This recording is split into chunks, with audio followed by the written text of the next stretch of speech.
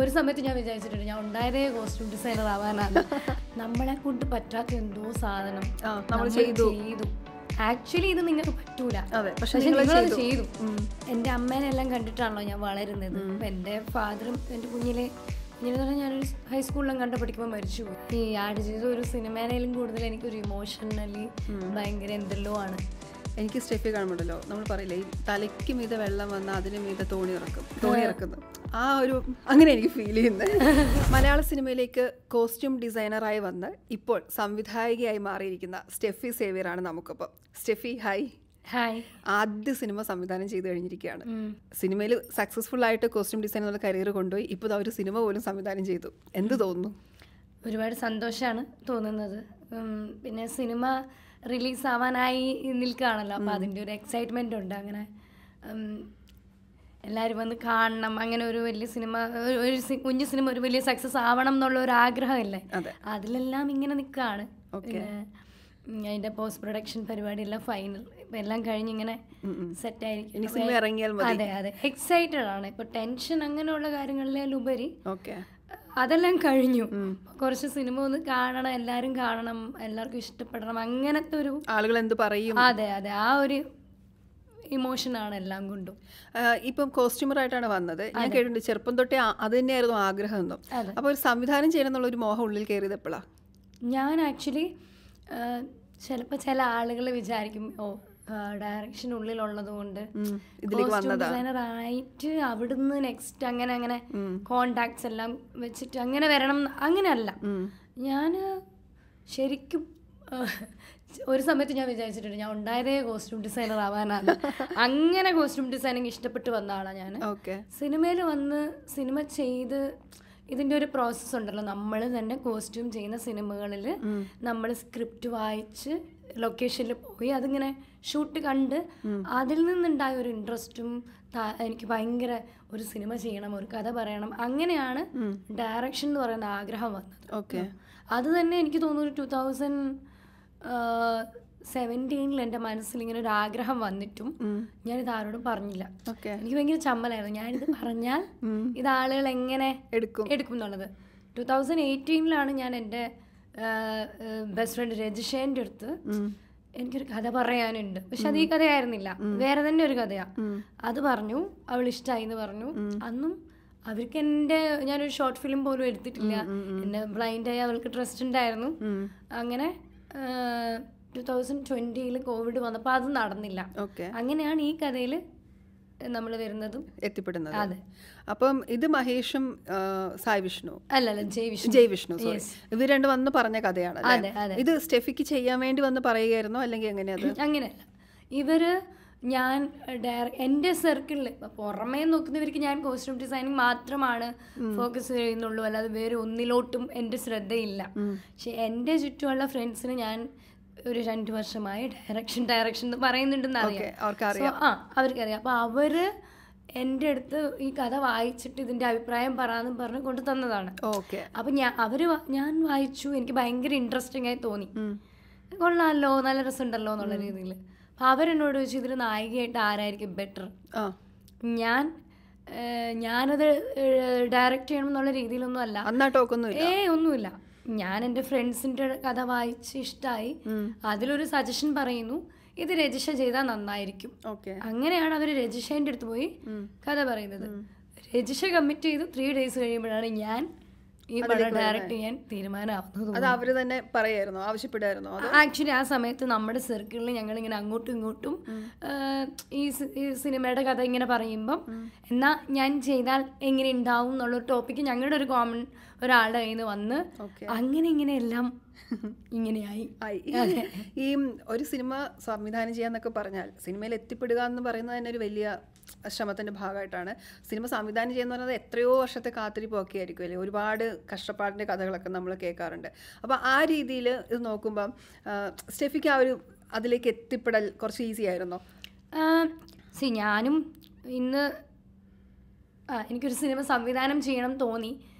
നാളെ സംഭവിച്ചതല്ല. അല്ല. ഞാനും ടു തൗസൻഡ് എയ്റ്റീൻ മുതൽ ടു തൗസൻഡ് ട്വന്റി ടു വരെ നിന്നിട്ടാണ് ഷൂട്ട് തുടങ്ങുന്നത്.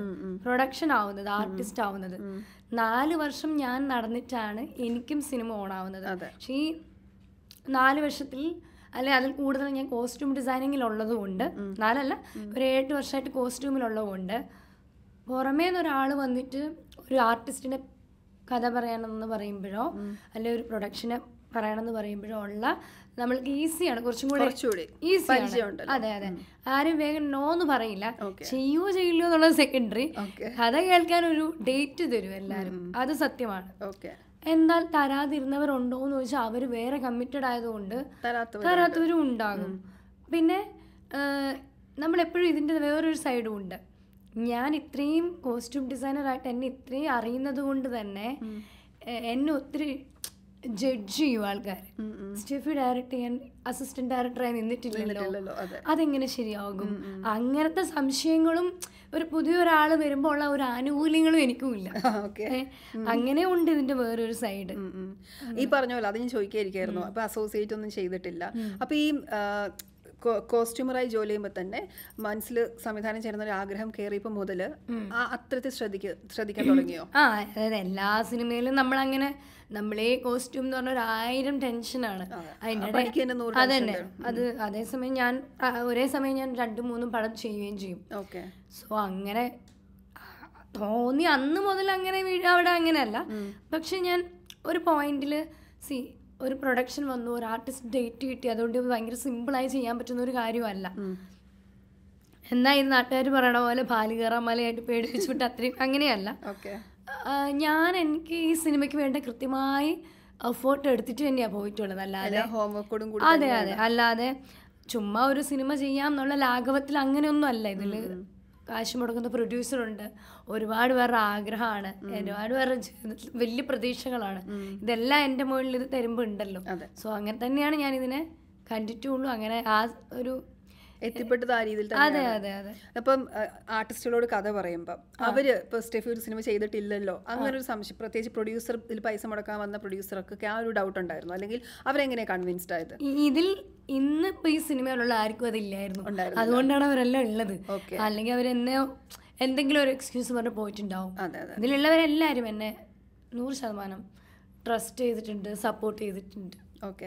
ആ ഒരു ഷൂട്ടിംഗ് പ്രോസസ്സ് ഉണ്ടല്ലോ. ഇപ്പം സിനിമയായിട്ട് അപരിചിതത്തുള്ള ആളെയല്ല പക്ഷേ അത് വേറൊരു മേഖലയിലാണ്. പക്ഷെ ഈ സംവിധായക എന്ന റോളിൽ ഇരിക്കുമ്പം ക്യാപ്റ്റൻ ഓഫ് ദി ഷിപ്പാണ് അല്ലേ അതിന്റെ ഒരു ടെൻഷൻസ് ഉണ്ട്. പിന്നെ അതെങ്ങനെ കൈകാര്യം ചെയ്തു? അത് എത്ര ഈസി ആയിരുന്നു സ്റ്റെഫിക്ക്? ഞാൻ ആക്ച്വലി എന്റെ ഒരു ഇരുപത്തിരണ്ട് വയസ്സ് കഴിഞ്ഞ് ഇരുപത്തിമൂന്ന് വയസ്സ് പോലെ. മറ്റേ ഞാൻ സിനിമയിലാണ്.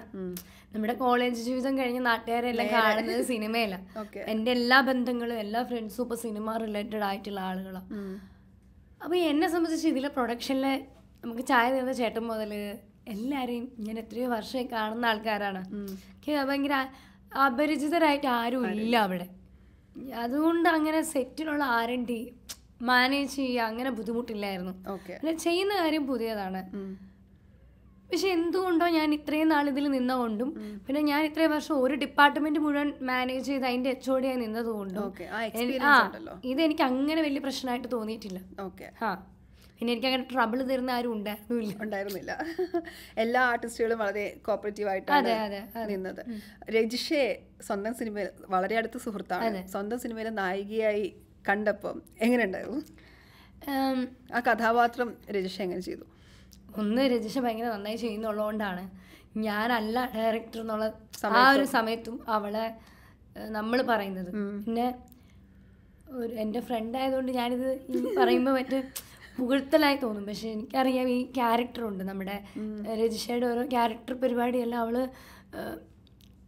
ഒരു ഒരു അങ്ങോട്ടും ഇങ്ങോട്ടും പോകാൻ പാടില്ല എന്നുള്ള സാധനങ്ങളുണ്ട് ചില സീനുകളിൽ ഓക്കെ. അതാ രജിഷ ആയതുകൊണ്ടാണ് ഞാനത് ഭയങ്കര വിശ്വസിച്ച് ഇത് ഇവൾ ചെയ്താൽ നന്നാവും. ഓക്കെ. ഇത് പറ്റും എന്നുള്ള സാധനം. പിന്നെ ഈയിടെ രജിഷനെ ഇങ്ങനെ ക്യൂട്ട് ബബ്ലി സാധനം കണ്ടിട്ടും കുറച്ച് നാളായി. അപ്പൊ അത് ഇതൊരു പുതിയ ഈ ലാസ്റ്റ് കുറച്ച് സിനിമയിൽ കുറച്ച് സീരിയസ് പരിപാടി ആയിരുന്നല്ലോ. അതിൽ നിന്ന് ടോട്ടലി നിങ്ങൾ ഇതുവരെ കാണാത്ത ഒരു പരിപാടി ഇതിലുണ്ട്. അതെനിക്ക് ഉറപ്പ് പറയാൻ പറ്റും. ഓക്കെ. അതുപോലെ മുതിർന്ന ആർട്ടിസ്റ്റുകൾ ഇപ്പം ബിന്ദു പണിക്കർ മാമൊക്കെ ആവട്ടെ അവരെയൊക്കെ കൈകാര്യം ചെയ്യുക അഭിനയിപ്പിക്കുക സ്വന്തം ആക്ഷൻ പറയുമ്പോൾ അവർ ചെയ്യുക ആ ഒരു ഫീൽ ഉണ്ടല്ലോ അതെങ്ങനെ ഉണ്ടായിരുന്നു? ബിന്ദു ചേച്ചി ആക്ച്വലി ഞാനും ഭയങ്കര എന്താ പറയുക കുറേ വർഷങ്ങളായി കണ്ട് ഫാനാണ് അപ്പോൾ എനിക്ക് ബിന്ദു ചേച്ചീനെ പറയുകയാണെങ്കിൽ ചേച്ചി ഒരു ചേച്ചിക്ക് മനസ്സിലായിട്ടില്ല. ഈ നമ്മൾ പറയില്ല ആനയ്ക്ക് ആനയുടെ വലിപ്പം അറിയില്ല പറയില്ലേ? ചേച്ചിക്ക് ഇതുവരെ ചേച്ചി എന്ത് അടിപൊളിയാന്നുള്ളത് മനസ്സിലായിട്ടില്ലെന്നാണ് തോന്നുന്നത്. ഓക്കെ ചേച്ചി ഒരു സീൻ പെർഫോം ചെയ്യാനിരിക്കുമ്പോൾ ഞാൻ ഞാൻ എന്ത് കോസ്റ്റ്യൂം ചെയ്തു എന്ന് പറഞ്ഞാലും ഇതെന്റെ ആദ്യത്തെ പരിപാടിയല്ലേ? അതെ. പക്ഷെ ചേച്ചി ഉണ്ടല്ലോ പെർഫോം ചെയ്യുന്നതിന് മുമ്പ് ചോദിക്കും നമ്മളെ അടുത്ത് ഇതിങ്ങനെയാണോ? ഇതിങ്ങനെയാണോ വേണ്ടത്? അതായത് ആ നമ്മളോട് കാണിക്കുന്ന ആ റെസ്പെക്റ്റ് ഉണ്ടല്ലോ ഒരു ഡയറക്ടർ എന്നുള്ള രീതിയിൽ നമ്മളിത് നമുക്ക് തന്നെ അത്ഭുതമാവും. ഞാൻ ഇന്നലെ വന്ന ആളല്ലേ എന്റെ അടുത്ത് എന്തിനാ ഇത്രയും എന്നുള്ളത്? ചേച്ചി അത് ഒരു സീനിയർ ഒരു ഡയറക്ടറോട് എങ്ങനെയാണോ അത് തന്നെയാണ് നമ്മളെടുത്ത് ചേച്ചിയുടെ ഒരു ആറ്റിറ്റ്യൂഡ് ഓക്കെ പിന്നെ ഭയങ്കര ഈസിയാണ് ചേച്ചീന്റെ അടുത്ത് സംസാരിക്കാനും. പിന്നെ ഒരു കുഞ്ഞു മനസ്സൊക്കെയാ. കുഞ്ഞു ആവയാ ഉള്ളിൽ. ഞാൻ പറയാറുണ്ടോ ചേച്ചിനോട്. എന്നെയിലെല്ലാം ഒത്തിരി കുഞ്ഞാ. ഉള്ളുകൊണ്ടെന്ന്. ഓക്കെ ആ ഒരു പ്രൊമോ ഡാൻസും ഉണ്ടല്ലോ. നല്ല മെസ്സേജ് ചെയ്തിട്ടുണ്ട്. ആദ്യമായിട്ട് ആദ്യമായിട്ടല്ല ആ- രീതിയിലുള്ള ക്യാരക്ടേഴ്സ് ചെയ്തിട്ടുണ്ട്. എന്നാൽ പോലും ഇങ്ങനെ ഒരു കോസ്റ്റ്യൂമും ഡാൻസ് ഒക്കെ വരുന്ന ആദ്യമായിട്ടാണ് തോന്നുന്നു അല്ലേ? പ്രത്യേകിച്ച് ഇൻഹിബിഷൻസ് ഒന്നും ഉണ്ടായിരുന്നില്ല. ഭയങ്കര സന്തോഷമായിരുന്നു ഓക്കെ അയ്യോ. ഒന്ന് ചേച്ചിക്ക് പ്രമോ സോങ് ഒന്നും ആദ്യമായിട്ടില്ല അതെ. കാരണം അവർ ചെയ്ത സിനിമകളുടെ ആ ഒരു കാലഘട്ടത്തിൽ പ്രമോ സോങ്ങും ഇങ്ങനത്തെ പ്രൊമോഷൻസ് ഒന്നും ഇല്ലല്ലോ. സോ ഇത് പുതിയതാ. പ്രമോ സോങ് എന്ന് വെച്ചാൽ അതെന്ത് സാധനം എന്നുള്ള രീതിയിലായിരുന്നു. ഓക്കെ. പുള്ളിക്കാരി വന്നു ഡ്രസ്സെല്ലാം ഇട്ടു മറ്റേ ഡോൾ പോലെ ഇരുന്നു എല്ലാം കൂടെ ചെയ്തപ്പോ. അപ്പൊ ഞങ്ങൾ ഇങ്ങനെ ഒരു ഇങ്ങനെ പിച്ചു. കുഞ്ഞു ഇങ്ങനെ ചെയ്യും അപ്പൊ ഞങ്ങളോട് അതേപോലെയാ. പിന്നെ ആൾ ഭയങ്കര എൻജോയ് ചെയ്ത് ചെയ്ത പരിപാടിയാണെന്നാണ് എനിക്ക് തോന്നിയിട്ടുള്ളത്. സെൽഫി എല്ലാം എടുക്കും. മോൾ കല്യാണി പുറത്താണല്ലോ. ആ, കല്യാ- അയച്ചു കല്ലൂർ- അയച്ചു കൊടുക്കും. ഇത് കണ്ടോ? അത് കണ്ടോ നമ്മൾ കുഞ്ഞു പിള്ളേരും ഭയങ്കര എക്സൈറ്റഡ് ആവൂലേ? കാരണം സ്ഥിരം സാരി ഉടുത്തിട്ട് അഭിനയിച്ച് മടുത്തിരിക്കുമ്പോഴാണ് ഉടുപ്പെല്ലാം ഇടുന്നത്. ഭയങ്കര സന്തോഷമായിരുന്നു ഓക്കെ. ഈവൻ നമ്മുടെ പ്രൊമോഷൻ പരിപാടികളിലായാലും ചേച്ചി വരണം ചേച്ചിക്ക് വരണ്ട ഞാനില്ല എന്ന് പറഞ്ഞാൽ ഈസി ആയിട്ട് പോകാൻ പറ്റും. പക്ഷേ എന്റെ കൂടെ ഇപ്പോഴും ഷൂട്ട് കഴിഞ്ഞിട്ടും ഇങ്ങനെ ഭയങ്കരമായിട്ട് ചേച്ചി ഈ ഒരു ഇതിലെല്ലാത്തിലും ഉണ്ട്. ഉണ്ട്. പിന്നെ? നമ്മളെപ്പോഴും പറയും ഇപ്പം ഒരു സ്ത്രീ എന്ന നിലയിൽ സിനിമയിലേക്ക് വരുമ്പോഴുള്ള പ്രശ്നങ്ങൾ ഒരുപാട് സംസാരിക്കപ്പെടുന്നു. പ്രത്യേകിച്ച് ഡബ്ല്യു സി സി അടക്കം ഒരുപാട് കാര്യങ്ങൾ ഉയർത്തുന്നു. പക്ഷേ സ്റ്റെഫിക്ക് ആ രീതിയിൽ ഈ സിനിമ ചെയ്യുമ്പോൾ ബുദ്ധിമുട്ടുകളൊന്നും ഉണ്ടായിരുന്നില്ല എന്നാണോ? ഞാനേ ഇതെന്നല്ല. കോസ്റ്റ്യൂം ചെയ്യുമ്പോഴായാലും എനിക്ക് വനിത എന്നുള്ള രീതിയിൽ ഓരോ ബുദ്ധിമുട്ടും. എനിക്കില്ല. പക്ഷെ ഞാൻ എപ്പോഴും പറയും ഞാൻ ഞാനിത് പറയുമ്പോൾ ആർക്കും ഇല്ലാന്നല്ല പറയുന്നത്. അതുള്ളവരുണ്ട് അത്. തന്നെ ഉണ്ടാകും. പക്ഷെ എന്തുകൊണ്ടോ ഇനി വല്ലവരും അങ്ങനെ കാണുന്നുണ്ടെങ്കിൽ എനിക്കത് മനസ്സിലായിട്ടുമില്ല. കാരണം എനിക്ക് വിമൻ ടെക്നീഷ്യൻ അല്ലെ women costume lady costume designer ഇങ്ങനത്തെ ലേബൽ ഞാൻ സ്വയം അംഗീകരിച്ചിട്ടില്ല. ഞാൻ നിങ്ങൾ ആണുങ്ങൾ എന്താണോ ഡയറക്ഷൻ ഞാൻ എപ്പോഴും ആലോചിക്കും. വനിതാ സംവിധായകർ ഭയങ്കര നമ്മളിങ്ങനെ പറയില്ലേ ഒരു സ്ത്രീ ആയിട്ട് നിങ്ങൾ ഡയറക്റ്റ് ചെയ്തു അല്ലെങ്കിൽ നിങ്ങളൊരു പെൺകുട്ടി ഡയറക്റ്റ് ചെയ്തു എന്ന് പറയുമ്പോൾ നമ്മളെ കൊണ്ട് പറ്റാത്ത എന്തോ സാധനം നമ്മൾ ചെയ്തു. ആക്ച്വലി ഇത് നിങ്ങൾക്ക് പറ്റൂല. പക്ഷെ നിങ്ങൾ ചെയ്തു. ഇത് പറയുന്നത് തന്നെ ഏറ്റവും വലിയ തെറ്റാണ് അല്ലേ? ഇപ്പൊ നമ്മളൊരു ഡോക്ടർ ഒരു സർജറി ചെയ്യുമ്പോൾ ഒരു ലേഡി ഡോക്ടർ ലേഡി ഡോക്ടർ ചെയ്തു നിങ്ങൾ പറയാറുണ്ടോ? ആരായാലും അത് ചെയ്ത ആ ഒരു പ്രോസസ്സ് മാത്രമല്ലേ അതിൽ മാറ്റർ ഉള്ളൂ. ഇവിടെ അങ്ങനെയേ പറയാൻ പാടുള്ളൂ അങ്ങനെ വരണം എന്നാണ് എന്റെ ആഗ്രഹം. എനിക്കങ്ങനെ ഒന്നും പക്ഷെ എനിക്ക് എല്ലാവരുടെയും കേസ് ഇപ്പം അതായിരിക്കണം എന്നില്ല. ഭയങ്കര ബേസിക് സാധനങ്ങളിൽ പോലും ആ ഒരു ഉണ്ടാവും. ഉണ്ട്. പക്ഷെ ഞാൻ ഒരുപക്ഷെ ഞാൻ ഫൈറ്റ് ചെയ്ത് അറിയാതെ ഞാൻ എന്റെ കാര്യങ്ങളെല്ലാം ഞാൻ നേടിയെടുക്കും. അത് പക്ഷെ ഒരു അടി ഇടി ആർഗ്യുമെന്റോ അങ്ങനെയല്ല ഞാൻ പറയുന്നത്. ഞാൻ എനിക്ക് തോന്നിയിട്ടില്ല. അതായത് ഈ വിവേചനം എന്ന് പറയുന്നത് ഉണ്ടെങ്കിൽ ഞാൻ അതിനപ്പുറത്തോട്ട് പോകുന്നുണ്ടെന്നാണ് എന്റെ വിശ്വാസം. ഓക്കെ. അല്ലെങ്കിൽ ഒന്ന് ആലോചിച്ചു ഞാൻ ഇരുപത്തിരണ്ട് വയസ്സിൽ വയനാട്ടിൽ മാനന്തവാടിയിൽ സിനിമയുടെ ഒരു കുന്തം അറിയാത്തൊരു സ്ഥലത്തു നിന്നാണ് ഞാൻ ഇവിടെ എത്തുന്നത്. ഈ തൊണ്ണൂറ് സിനിമയിൽ മുകളിൽ ഞാൻ കോസ്റ്റ്യൂം ചെയ്തിട്ടുണ്ട്. എന്നെ അങ്ങനെ വിവേചനത്തിന്റെ മുകളിൽ മാറ്റി നിർത്തിയ ആൾക്കാരുണ്ടെങ്കിൽ ഞാൻ എന്നോ എവിടെയോ നിന്ന് പോകേണ്ടതാ. അതെ. അങ്ങനെ ഉള്ള ആളുകൾ ഉണ്ടാവാം. പക്ഷെ ഞാൻ അത് മൈൻഡ് ചെയ്യുന്നില്ല. മാറ്ററും അല്ല അത്. ഞാൻ മുമ്പോട്ട് പോകണം എന്നാണ് എന്റെ ആഗ്രഹം. ഓക്കെ. എപ്പോഴും ഇങ്ങനെ തന്നെയാണ്? ഇങ്ങനെ തന്നെ. പിന്നെ ഇമോഷണലി നമ്മൾ എപ്പോഴും ഞാൻ ഒരു ഞാൻ ഭയങ്കര സ്ട്രോങ് ആ. ബോൾഡാണ് അങ്ങനെയൊന്നുമല്ല. നമ്മുടേതായ പേഴ്സണൽ സ്പേസിൽ നമ്മൾ കരയുന്നുണ്ടാവും. ഇരുന്ന് നാട്ടിൽ എല്ലാം വിളിച്ച് കരയുന്നുണ്ടാവും. ഇതെല്ലാം ഉണ്ടാവും. പക്ഷെ അതൊന്നും എന്റെ ജോലീനെയോ അല്ലെ എന്റെ വളർച്ചേനെയോ ബാധിക്കാൻ ഞാൻ സമ്മതിക്കാറില്ല. പക്ഷെ എന്ന് വെച്ചാൽ എന്റെ പേഴ്സണൽ ആയിട്ടുള്ള ഒരുപാട് കാര്യങ്ങളിൽ ഞാൻ വളരെ വൾണറബിൾ ആയിട്ടുള്ള ആൾ തന്നെയാണ് എനിക്ക് ചിലപ്പോൾ ജോലിപരമായിട്ടും ഹേർട്ട് ആയിട്ടുണ്ടാവാം. ഓക്കെ. ആവുന്നും ഉണ്ടാവാം. പക്ഷെ അത് എന്നെ എവിടെ എനിക്കൊരു തടസ്സമാവരുത് എന്നെനിക്കുണ്ട് അല്ലാതെ എപ്പോഴും ഇരുപത്തിനാല് മണിക്കൂർ ഞാൻ മറ്റേ ജിൽ ജിൽ ഇങ്ങനെ പവർ ആയിട്ടുള്ള ആളല്ല. ഓക്കെ. ഈ അത്തരം സാഹചര്യങ്ങൾ വരുമ്പോഴേ ഇമോഷണലി ബ്രേക്ക് ഡൗൺ ഒക്കെ വരുമ്പോൾ എന്താ അവിടെ ഒരു അവിടുത്തെ ഒരു പവർ കണ്ടെത്തുന്നത് എങ്ങനെയാണ്? ഓ, എനിക്കങ്ങനെ എന്തിലാണ് പവർ എന്നറിയില്ല. പക്ഷെ എനിക്ക് മുന്നോട്ട് പോകണം എന്നറിയാം പിന്നെ ഞാൻ എന്റെ നമ്മൾ ഞാൻ എന്റെ അമ്മേനെ എല്ലാം കണ്ടിട്ടാണല്ലോ ഞാൻ വളരുന്നത്. അപ്പം എന്റെ ഫാദറും എന്റെ കുഞ്ഞിലെ കുഞ്ഞിലെ തന്നെ ഞാനൊരു ഹൈസ്കൂളിലും കണ്ട് പഠിക്കുമ്പോൾ മരിച്ചുപോയി. ഓക്കെ. എന്റെ ബ്രദറുണ്ട് ഞങ്ങൾ രണ്ട് പഠിക്കുന്ന പിള്ളേരാണ്. അന്ന് അന്നൊരു അംഗൻവാടി ടീച്ചർ അവർ രണ്ട് പിള്ളേരെ വളർത്തി രണ്ടുപേരെയും ഒരു ഇഷ്ടമുള്ള എന്നെ ഇഷ്ടമുള്ള ഫാഷൻ ഡിസൈനിങ് എന്താണെന്നും ഏതാണെന്നും അറിയാത്തൊരു നാട്ടിൽ നിന്ന്. ഇപ്പം അറിയാം ഞാൻ പറയുന്നത് കുറേ വർഷം മുമ്പുള്ള കാര്യം. അതെ അതെ. അന്വേഷിച്ച് കണ്ടുപിടിച്ചു പഠിപ്പിച്ചു. ഞാൻ സിനിമ വരണമെന്ന് പറഞ്ഞപ്പോൾ സിനിമയിൽ വന്നാൽ എന്താ ആവുകയെന്നറിയില്ല അപ്പോഴും ആ ശരിയെന്ന് പറഞ്ഞു. അങ്ങനെ ഒരമ്മ ഉണ്ടായിരുന്നു എനിക്ക്. സോ അവരെ എല്ലാം കണ്ടാണ് ഞാൻ വളരുന്നത്. അതുകൊണ്ട് തന്നെ ഇങ്ങനെ കുഞ്ഞു കുഞ്ഞു കാര്യങ്ങളിലൊന്നും വീഴില്ല എന്ന് എനിക്കൊരു വിശ്വാസമുണ്ട് അതെന്നെ എന്റെ എന്റെ എന്റെ ജീന്റെ ആയിരിക്കും. ഞാൻ ഇതിനോട് ചേർത്ത് വെച്ച് ഞാൻ കേട്ട കുറച്ച് കാര്യങ്ങളാണ് സ്റ്റെഫിക്ക് പറയാൻ ബുദ്ധിമുട്ടാണ് നമുക്കത് വിട്ടേക്കാം. ഈ സിനിമയിൽ തന്നെ ചിലരുടെ ഭാഗത്ത് നിന്ന് ഭയങ്കരമായ കോപ്പറേഷൻ ഇല്ലായ്മ ഉണ്ടായിട്ടുണ്ട്. അല്ലെങ്കിൽ ആ രീതിയിൽ ഇൻസൾട്ട് ഉണ്ടായിട്ടുണ്ട് എന്നൊക്കെ ഞാൻ കേട്ടിട്ടുണ്ട്. എന്റെ സിനിമ ആ സിനിമയിൽ. അങ്ങനെ എന്തെങ്കിലും സ്റ്റെഫിക്ക് നേരിടേണ്ടി വന്നിട്ടുണ്ടോ? സി അങ്ങനെ ഒരു മേജർ അങ്ങനെയൊന്നും എനിക്ക് പറയാൻ പറ്റില്ല. പിന്നെ ചില ആളുകളുടെ ഭാഗത്തുനിന്ന് ഉള്ളിൽ എന്താണ് അവരെ അവരെങ്ങനെയാണ് ഇതിനെ കാണുന്നത് എന്നുള്ളത് നമുക്ക് അറിയില്ലല്ലോ അവരുടെ ഉള്ളിൽ ചിലപ്പം പ്രശ്നങ്ങൾ ഉണ്ടാവാം. ചില ഈഗോ ക്ലാഷസ് ഉണ്ടാവാം. പക്ഷെ എനിക്ക് വേണ്ട സാധനങ്ങൾ എനിക്ക് കൃത്യ കൃത്യമായി നേടിയെടുക്കണം കിട്ടണം എന്നുള്ളത് എന്റെ ഒരു കാര്യമാണ്. ഐ മീൻ ഞാനത് നേടിയെടുക്കും. നേടിയെടുത്തിട്ടുണ്ട്. അത് സിനിമയിൽ ഒരു രീതിയിലും ബാധിക്കാത്ത രീതിയിൽ തന്നെ അത് ഇതാണ് ഞാൻ അതിന് ഞാനിത് എത്ര ചെയ്താലും എനിക്കതിന് കൃത്യമായ ഒരു പ്രൊഡക്ഷൻ സപ്പോർട്ട് വേണം അല്ലേ? അതെ. അതെനിക്കുണ്ടായിരുന്നു. ഉണ്ടായിരുന്നു. എന്റെ പ്രൊഡ്യൂസേഴ്സ് ഭയങ്കരമായി എന്നെ ട്രസ്റ്റ് ചെയ്യുകയും. എന്റെ കൂടെ നിൽക്കുകയും ചെയ്തിട്ടുണ്ട്. ഓക്കെ. അതുകൊണ്ട് ഇപ്പോഴും ഇങ്ങനെ നന്നായി നിന്ന് സംസാരിക്കാൻ എനിക്ക് പറ്റുന്നുണ്ട്. ഓക്കെ. യെസ് അതുപോലെ ഇപ്പം നമ്മൾ ചിലരൊക്കെ പറഞ്ഞു കേട്ടിട്ടുണ്ട് ഇപ്പോൾ ഒരു സ്ത്രീ സംവിധാനം ചെയ്യുമ്പം അവരുടെ കൈൻഡ് ഓഫ് സിനിമകൾ വേറെയാണ്. അല്ലെങ്കിൽ അത് കൊമേഴ്ഷ്യലി ആ രീതിയിലുള്ള സിനിമ ഒരു ആർട്ട് സിനിമകൾ ആ രീതിയിലേക്കൊക്കെ ആയിരിക്കും.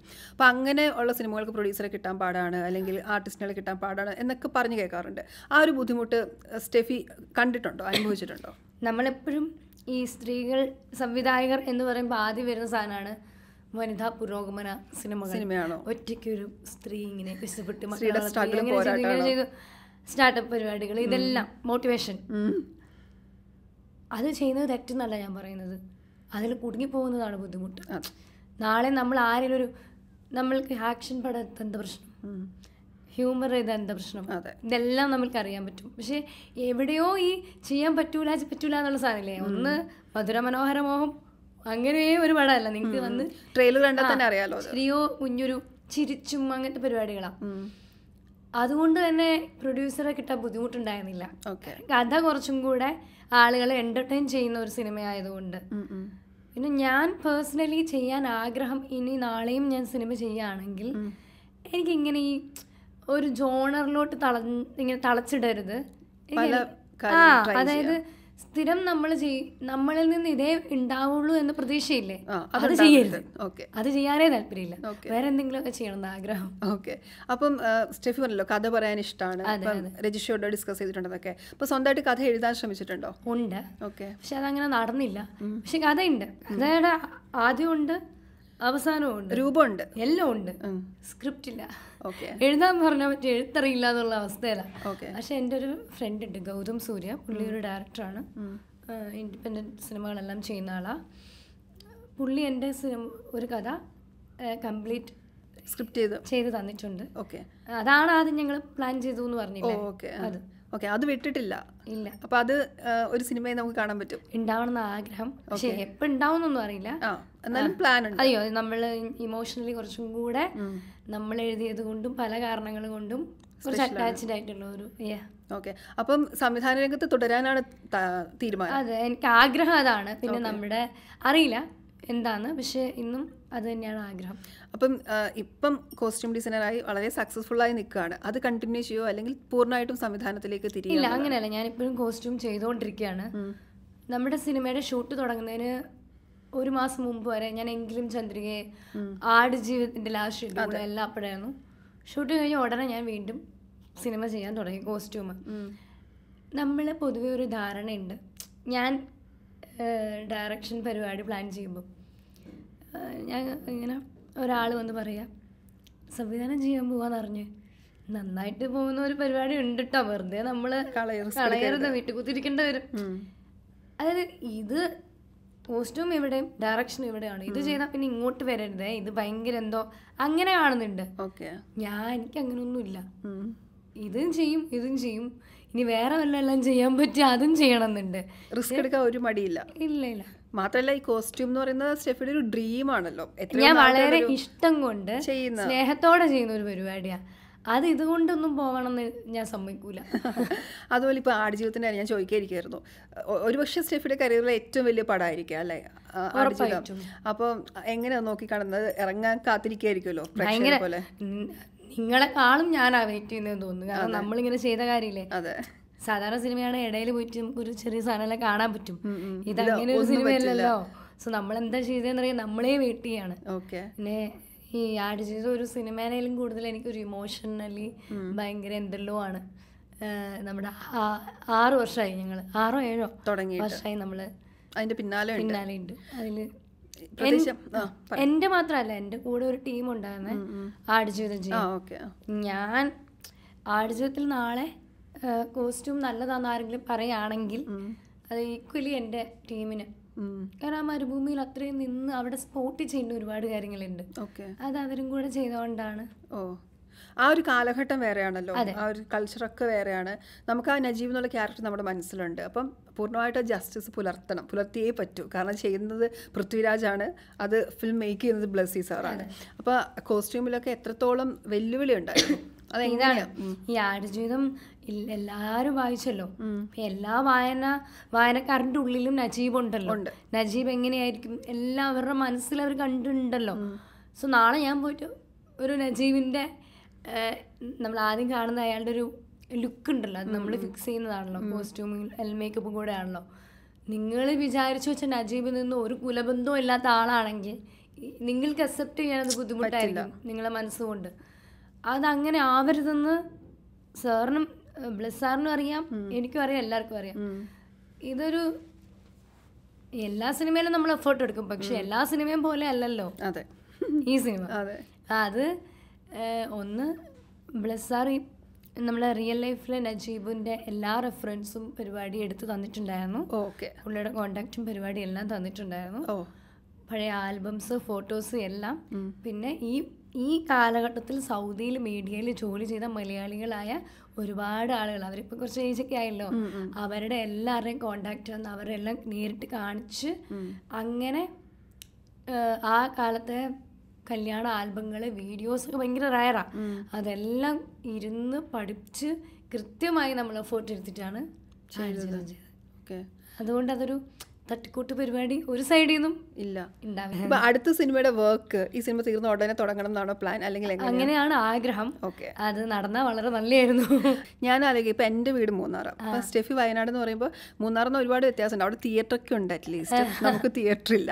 പണ്ടുണ്ടായിരുന്നു ഞാൻ സ്കൂളിലൊക്കെ പഠിക്കുമ്പോൾ ഉണ്ട്. ഞാൻ ഇപ്പൊ ഒന്നും ഇല്ല. ഇപ്പൊ ഇല്ല. എല്ലാം ഹോട്ടലാക്കി റിസോർട്ടുകളാക്കി. ഞാൻ തിയേറ്ററിൽ അവസാനം കണ്ട യാത്രാമൊഴിയാ. ഓക്കെ. അതോടുകൂടി അവിടുന്ന്? അവിടുന്ന്. അവിടുത്തെ തിയേറ്ററിൽ ഇപ്പൊ എല്ലാ സിനിമയും കാണും. മൂന്നാറിലെ തിയേറ്ററിൽ നിന്ന് അവസാനം കാണുന്നത് പക്ഷേ സ്റ്റെഫി കുഷ് കുറച്ചുകൂടി എക്സ്പോഷർ ഒക്കെ ഉണ്ടായിരുന്നല്ലോ അല്ലേ? സിനിമ കാണാനും. അപ്പം ഈ ഞാൻ ആലോചിക്കുമ്പോൾ നമുക്കൊന്നും നല്ല ഡ്രസ്സ് പോലും ഇല്ല. കാരണം അവിടുത്തെ ചെറിയ കടകളിൽ കിട്ടുന്ന ഏതെങ്കിലും ഡ്രസ്സാണ് ഇപ്പോൾ ഈ കോസ്റ്റ്യൂമർ ആവുക എന്നുള്ളൊരു ചിന്തയായിട്ട് വരുമ്പോഴേ ആ ഒരു നാടും അവിടുത്തെ ഒരു അറ്റ്മോസ്ഫിയർ ഒക്കെ ഇമ്പോർട്ടന്റ് അല്ലേ? അതെങ്ങനെയാണ് സ്വാധീനം ചെലുത്തിയത്? ഈ മാനന്തവാടിയിൽ റെഡിമെയ്ഡ്സ് എന്ന് പറയുന്നതും ടെക്സ്റ്റൈൽസ് കുറച്ച് ഡിഫറൻസ് ഉണ്ടല്ലോ. അതായത് റെഡിമെയ്ഡ് വരുന്നതിന് മുമ്പ് ഫാഷൻ ഡിസൈനർ ആയിരുന്നു ഞാൻ അവിടുത്തെ ഓക്കെ. അതായത് പഴയ സാരി ചെറുതല്ലേ ചുരിദാർ എല്ലാം മുറിച്ച് അപ്പുറത്തെ ചേച്ചിനെ കൊണ്ട് തുന്നിച്ച് അതെല്ലാം ഇടുന്ന ഒരു പരിപാടി ഉണ്ടായിരുന്നു. ഓക്കെ. അപ്പം ഒരു- ഞാൻ ഈ പറഞ്ഞില്ലേ ഈ മാനന്തവാടിയിലാണ് ജനിച്ചു വളർന്നത് എന്നുള്ളത് എനിക്കൊരു ബോധമില്ലല്ലോ. ഞാൻ അപ്പോഴും കൊച്ചിയിലാണ് മനസ്സുകൊണ്ട് എങ്ങനെയൊക്കെ എനിക്ക് തോന്നിയില്ല അതായിരിക്കാം മേ ബി ഞാൻ മറ്റേ ചെറുതിലെ ഞാൻ സിനിമയിൽ പോകുമല്ലോ ഞാൻ അവിടെ കോസ്റ്റ്യൂം ഡിസൈനർ ആവാൻ പോവുകയാണല്ലോ എനിക്ക് റിയാലിറ്റി ഇല്ല? ഞാൻ എവിടുന്നാ വന്ന ഞാൻ പറഞ്ഞത് അത് മോശം സ്ഥലം അല്ല? അങ്ങനെയല്ല ഞാൻ പറഞ്ഞത് എന്റെ പരിമിതി എന്താന്ന് എനിക്ക് അന്ന് അറിഞ്ഞുകൂടാ ഞാൻ സ്വ- ലക്ഷ്യം അത് അതുകൊണ്ട് ഇതൊന്നും എന്നെ ബാധിച്ചിട്ടില്ല. ഇതെല്ലാം മനസ്സിലായാലല്ലേ ബാധിക്കുള്ളൂ. അതായിരുന്നു സത്യത്തിൽ അതാണ്. ഓക്കെ. കാരണം കുഞ്ഞിലേ മുതലേ സിനിമയിൽ അന്ന് കോസ്റ്റ്യൂം ഡിസൈനർ എന്ന് പറയുന്നത് എത്ര ഇമ്പോർട്ടന്റ് അങ്ങനെയൊന്നും അറിയില്ല. സിനിമയിൽ സിനിമയിൽ പേര് വായിക്കും. വസ്ത്രാലങ്കാരം. S B Satheesan. വേലായുധം കീഴില്ല. ഇതാണ് പരിപാടി. പിന്നീട് ഒരു ന്യൂസ് വായിച്ചു. ഇങ്ങനെ ഒരു ഫീച്ചർ ഇതിനെ കുറിച്ച് ഓക്കെ. തീരുമാനിച്ചു. ഞാൻ ഇതാണ്. അല്ല ഒന്ന് ഞാൻ ആലോചിക്കും. നമ്മളൊക്കെ ചെറുതൊരു സിനിമ കാണുമ്പോൾ ഒന്ന് അഭിനയിക്കാനൊക്കെ തോന്നും. അത്തരം പണികളിലേക്ക്. അതാണല്ലോ കുറച്ച് ഭയങ്കര ഗ്ലാമറസ്. പക്ഷെ ഇങ്ങനെ സംഭവം വിചാരിച്ചിട്ടേ ഇല്ല. ഒരു അറിവ് വെക്കുന്നവരൊക്കെ അതെങ്ങനെ അത് ഉള്ളിൽ വന്നത്? എനിക്ക് അറിഞ്ഞൂടാ ഡ്രസ്സിനോടുള്ള ഇഷ്ടം. അത് ഞാൻ വേറെ കാര്യം. പണ്ട് സൺഡേ നമ്മൾ പള്ളിയിൽ പോകുമല്ലോ. അപ്പോൾ പള്ളിയിൽ പോകുമ്പോൾ ഇങ്ങനെ നമ്മളിങ്ങളെല്ലാം നമ്മുടെ ക്ലാസ്സിലെ പിള്ളേരെല്ലാവരും ഇങ്ങനെ നിൽക്കുമ്പോൾ ഞങ്ങളുടെ ക്ലാസ്സിലൊരു കുട്ടി ഉണ്ടായിരുന്നു ടാനിഷ എന്ന് പറഞ്ഞിട്ട്. അപ്പം അവളുടെ അച്ഛൻ അന്ന് ദുബായിലാണ് അപ്പം പുള്ളിക്കാരൻ ഇങ്ങനെ നല്ല നല്ല നമ്മുടെ കൂടത്തിൽ കുറച്ചും കൂടെ സ്റ്റൈൽ ഡ്രസ്സ് നമ്മളൊക്കെ ഭയങ്കര ഇങ്ങനെ അവളുടെ ഡ്രസ്സ് ഭയങ്കര രസമാണ് കാണാൻ. ഞാൻ ഇടയിൽ രണ്ടിലോ മൂന്നിലോ ഒറ്റ പഠിക്കുമ്പോഴാണ് ഞാൻ എല്ലാ ദിവസം പോയി ചോദിക്കും ഇതെവിടുന്ന വാങ്ങി ഇതെവിടുന്ന വാങ്ങി അപ്പോൾ ഡാനിഷ് ഒരു ദിവസം എന്നോട് പറയും, "ഈ എന്തിനാ എല്ലാ ദിവസവും എന്നോട് വന്ന് ചോദിക്കുന്നത് എങ്ങനെ എന്നൊക്കെ ചോദിക്കും. അപ്പം ഞാൻ ഷോ ഇനി ചോദിച്ച നാണക്കേടാണല്ലോ. എന്റെ ഓർമ്മയിൽ ഇതെല്ലാം ഉണ്ട്. ഓക്കെ. സോ ഈ പള്ളിയിലെല്ലാം പോകുമ്പോൾ മുമ്പിലുള്ളവരുടെ ഡ്രസ്സ് എന്താ കളർ എന്താ ഇങ്ങനെ ഇങ്ങനെ ഇതെല്ലാം എന്റെ മെയിൻ പരിപാടി അന്ന് അപ്പൊ എവിടെയല്ലോ ഈ കളറും ഡിസൈനും പാറ്റേണും എല്ലാം എന്നെ ഉള്ളിലുണ്ട്. ഉള്ളിലുണ്ടാവാം. അതുകൊണ്ടാവാം. അതുകൊണ്ടാണ് ഇത്ര ബ്യൂട്ടിഫുൾ ആയിട്ട് ആ ജോലി ചെയ്യാനും പറ്റുന്നത്. സന്തോഷത്തോടെ ചെയ്യാൻ കാരണം ആരും എന്നോട് ഇവിടെ വന്നിട്ട് നീ ഒരേ സമയം രണ്ട് പടം ചെയ്യുന്നൊന്നും പറയുന്നില്ലല്ലോ. ഞാനാണല്ലോ എന്റെ ഇഷ്ടം കാരണം എടുക്കുന്നത്. അതുകൊണ്ട് ഞാൻ എത്ര ഓടിയാലും കംപ്ലൈന്റും ഇല്ല ഒന്നുമില്ല. ഓക്കെ. ഏറ്റവും ഇഷ്ടപ്പെട്ടത് ആരെ ചെയ്തിട്ടായിരിക്കും? ഏത് സിനിമയിൽ ആരെ ചെയ്തിട്ടായിരിക്കും? ഒരു നടിയെ പറഞ്ഞാൽ. മമത മോഹൻദാസ്. ഓക്കെ. എപ്പോഴും എങ്ങനെ ഇട്ടാലും ഭയങ്കര ഭംഗിയാ. നടന്മാരുടെ കാര്യം പറഞ്ഞാലോ? എനിക്ക് ഇഷ്ടം പൃഥ്വിരാജിനും കുഞ്ചാക്കോബനും വേണ്ടി ചെയ്യാനാണ് ഓക്കെ. ഇപ്പോൾ സാരീസ് ഒക്കെ ചെയ്യുമ്പം കൂടുതൽ മേടിക്കുമായിരിക്കും അല്ലേ? അധികവും മേടിക്കും. ഭയങ്കര ചില സമയങ്ങളിൽ നമ്മളിങ്ങനെ കസ്റ്റം മെയ്ഡ് ഡിസൈൻ ചെയ്യും. ചെയ്യാറുണ്ട് അതിപ്പം കേരളത്തിൽ തന്നെ ചെയ്യിക്കും അതോ പുറത്തെവിടെങ്കിലും ഇവിടുന്ന് തന്നെ ചെയ്യുന്നുണ്ട്. ഒന്ന് ഇവിടെ പ്രിന്റിംഗ് എല്ലാം ഇപ്പൊ കൊച്ചിയിലെല്ലാം ഉണ്ട്. സ്ക്രീൻ പ്രിന്റിംഗ് എല്ലാം വന്നു. പിന്നെ നമുക്ക് ചെയ്യാൻ പറ്റും ഡൈയിങ് ഉണ്ട്. എല്ലാം ഉണ്ടല്ലോ. ഇപ്പം സ്റ്റെഫിയുടെ ഒരു സെൽഫ് ഒരു സ്റ്റൈൽ ഉണ്ടല്ലോ. അത് കൂടുതൽ ഏതിലാ കംഫർട്ടബിൾ എത്രയും ഡ്രസ് ഞാൻ ഞാൻ ഡ്രസ്സായിരിക്കും ഇടുന്നത്. ഇങ്ങനെ ഫ്രോക്ക് ഡ്രസ്സസ് ഞാൻ അതാണ് കൂടുതൽ ഇടാറ്. സാരി ഒന്നും വലിയ താല്പര്യമില്ല. ഭയങ്കര ഇഷ്ടാ. പക്ഷെ ഇത് ഈ അങ്ങ് ഒരു എവിടെയെങ്കിലും പോയി ഇരുന്നല്ല വരാൻ റെഡിയാണ് ക്യാരി ചെയ്യാൻ ഒരു ഇത്തിരി ബുദ്ധിമുട്ടാ. ഇഷ്ടാണ്. ഓക്കെ ഞാൻ ഇടയിലിടെ വിഷുവിനും ഓണത്തിനും എല്ലാം മറ്റേ ഉടുക്കും.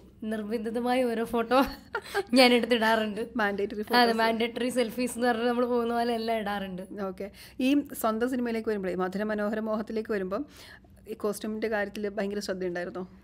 ഞാൻ അങ്ങനെയാണ് വിചാരിച്ചത് പക്ഷേ സി ഞാൻ അങ്ങനെയല്ല. കോസ്റ്റ്യൂമ് ഞാൻ ആദ്യം ഇതല്ല ഏത് പടമായിരുന്നെങ്കിലും ഞാൻ ചെയ്യില്ലായിരുന്നു. എന്റെ എന്റെ പടത്തിൽ ഞാൻ ഡയറക്റ്റ് ചെയ്യുന്ന പടത്തിൽ ഞാൻ ചെയ്യാൻ തീരുമാനിച്ചു. കാരണം ഞാൻ ഒരുപാട് വർഷം അത് ചെയ്തതുകൊണ്ടും ഞാൻ അതിലല്ല അതിന് എനിക്ക് ചെയ്ത് എന്റെ സിനിമ ഞാൻ ഡയറക്ഷൻ അല്ലേ എനിക്കിവിടെ അപ്പോൾ കോസ്റ്റ്യൂം എന്ന് പറഞ്ഞാൽ അത്രയും ശ്രദ്ധ ആവശ്യമുള്ള എപ്പോഴും അങ്ങോട്ടോട്ടും ഇങ്ങോട്ടോട്ടും ഇവരെ ഡീൽ ചെയ്യൽ അവിടെ ഇതുണ്ട് അതിൽ ഞാൻ ഇത് ചെയ്യുമോ അത് ചെയ്യുമോ ഇത് മാത്രമേ എനിക്ക് ചെയ്യാൻ താല്പര്യം. പറ്റുകയുള്ളൂ. പിന്നെ എന്റെ ഡി ഒ പി ചന്ദ്രു.